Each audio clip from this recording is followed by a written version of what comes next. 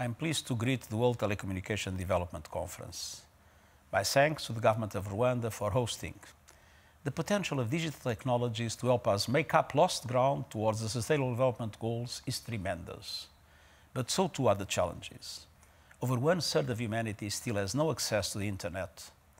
The digital divide reinforces social, economic, and gender divides. It exacerbates inequalities in all dimensions, from urban to rural, from literacy to healthcare, from childhood to older age. Your task is to map out a new action plan to bring the nearly 3 billion unconnected people into our global digital community. Because leaving no one behind means leaving no one offline.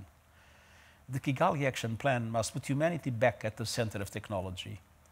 Your discussions will inform next year's United Nations Summit of the Future and the Global Digital Compact that I proposed in my report on our common agenda. The compact will bring together governments, the private sector, and civil society to agree on key principles for an open, free, and secure digital future for all.